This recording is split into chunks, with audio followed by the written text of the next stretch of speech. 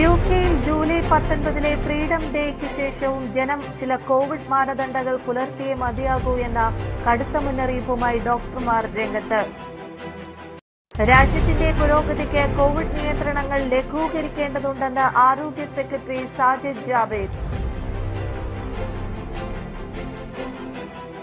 നാലു രാജ്യങ്ങളിൽ നിന്നുള്ളവർക്ക് വിലക്കേർപ്പെടുത്തി സൗദി അറേബ്യ.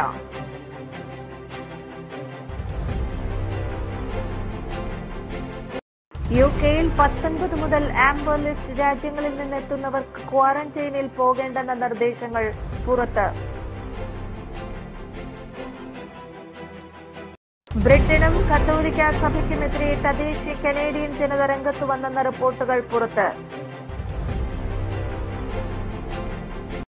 ഇന്ത്യയിൽ നിന്ന് കോവിഡ് നയന്റീനെതിരെയുള്ള കോവിഷീൽഡ് വാക്സിൻ വാങ്ങിയതിൽ ബ്രസീൽ പ്രസിഡന്റ് ജയർ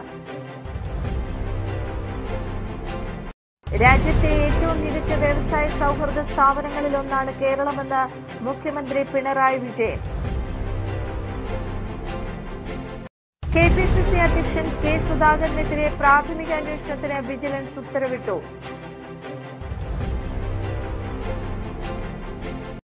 ഇന്ത്യയുമായുള്ള അൻപത്തിയൊൻപതിനായിരം കോടി രൂപയുടെ റഫേൽ യുദ്ധവിമാന ഇടപാടിലെ ക്രമക്കേടുകളെക്കുറിച്ച് ജുഡീഷ്യൽ അന്വേഷണം പ്രഖ്യാപിച്ച് ഫ്രാൻസ്.